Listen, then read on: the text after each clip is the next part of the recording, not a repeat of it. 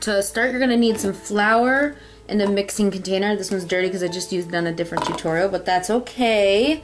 Unless you're doing this professionally, then don't do that.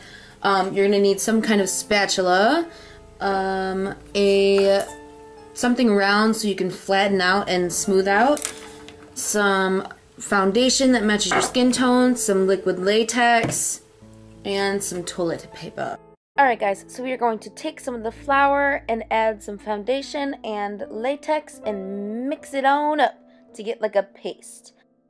And then we're going to go in and place down our cut open smiles, if you will. And we're going to let that dry a little bit and then just keep adding layers of toilet paper and latex over it. Once you get the built up that you want, you're going to just texturize it however you want it to lay and then after it dries, you powder it and take it off. And then placing spirit gum on my face and waiting for it to be tacky, we're going to place the prosthetics onto our face.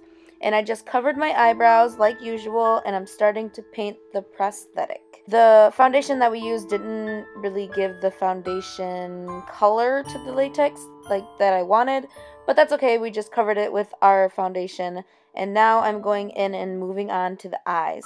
All I did was kind of black them out with black paint and then I did really, really defined like squiggles up from the top of the eyes. And then I set everything with powder and started to blend the bottoms down. And while that set, I just made a couple more really, really, really thin lines to give it more of a detailed look. And then we went in and did some bruising effects with brown, green, and purple. And then after that, you're going to color the middle of your mouth black, like it's a black hole. and then we're going to paint the gums, and that is a pink. And then we're to go in with red for the gums and the lips just to give a little bit more of dimension. Now while that is drying, you're going to go in and draw some veins underneath the bottom of your eyes. I used a liquid liner so that they weren't so black, but you can do them and make them as black as you want.